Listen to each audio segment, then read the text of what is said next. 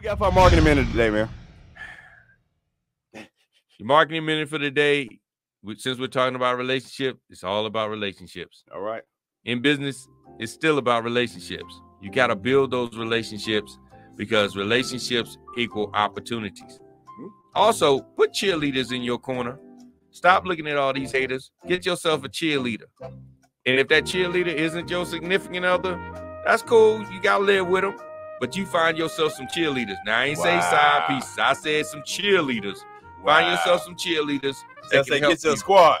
Yeah, because you you you're gonna need it. You know, as you go your day to day, you're gonna need those cheerleaders.